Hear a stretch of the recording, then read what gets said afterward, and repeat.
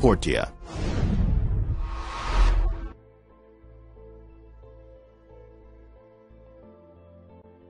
In our previous sessions, we understood what is the diagnosis and testing procedures for coronavirus. Now, let us understand how does it spread. COVID-19 spreads mainly by droplets, expelled respiratory secretions from nose and mouth, produced as a result of coughing and sneezing of a COVID-19 infected person. This can happen in two ways. Direct close contact. One can get the infection by being in close contact with COVID-19 patients within 1 meter of the infected person, especially if they do not cover their face when coughing or sneezing.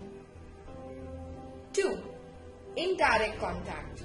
The droplets survive on surfaces and cloths for many days. Therefore, by touching any such infected surface or cloth and then touching one's mouth, nose or eyes can transmit the disease.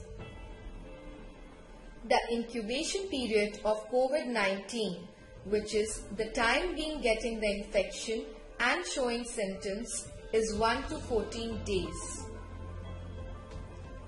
Some people with the infection but without any serious symptoms can also spread the disease. Now, let us summarize what we learned.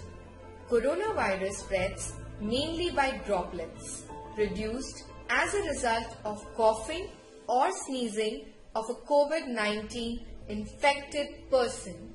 Thank you for watching the video. Portea, heal at home.